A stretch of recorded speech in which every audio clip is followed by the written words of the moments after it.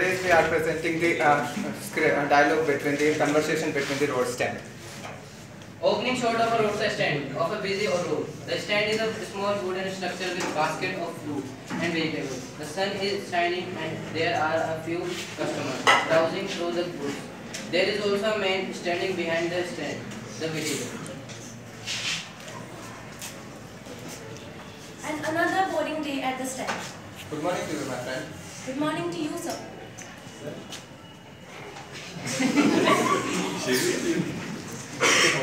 What brings what brings you to our humble stand? I was just passing by here, and your colorful vegetables and fruits caught my eyes.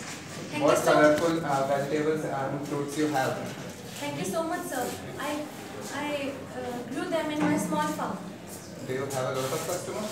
Um, actually not that I used to grow for because uh, we, uh, people these days prefer to buy from the big supermarkets. It was tough for you, uh, tough for small venture like you.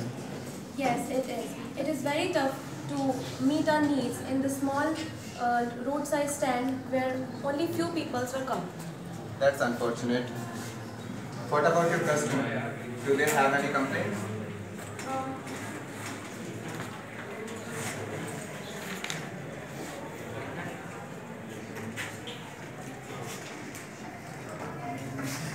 Some do. They say the fruits and the vegetables are too expensive, but they don't understand the hard work of that goes into growing them.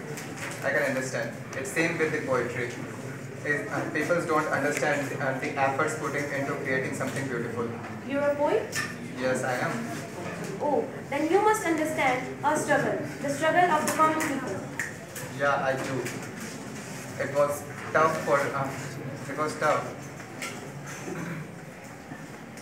Oh, maybe there is a point here.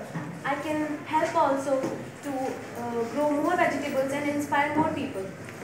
I will try to. Uh, to uh, I will try to put these effort, uh, efforts and struggles uh, the roadside stand people's face in my next poetry. Thank you so much, sir. It means a lot. No, thanks to you. It's a lovely talking to you. Have a good day, sir. Thank you.